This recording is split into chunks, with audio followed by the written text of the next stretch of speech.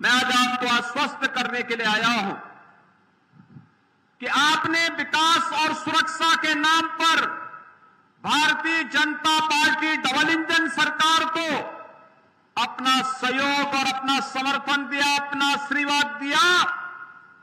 उस आशीर्वाद और सहयोग के लिए आपका आभार व्यक्त करते हुए आपको आश्वस्त करने के लिए मैं आया हूँ कि हर हाल में विकास की योजनाएँ अब रामपुर में बिना भेदभाव के आएँगी, इनको कोई रोक नहीं सकता है। और उसके साथ अपने आप को जोड़ने के लिए आज मैं आपके पास आया हूँ। मुझे बताया गया कि राजा राम सिंह कठेर के नाम पर इस जनपद को जाना जाता है। और उनके नाम पर 2020 में पनबड़िया नाम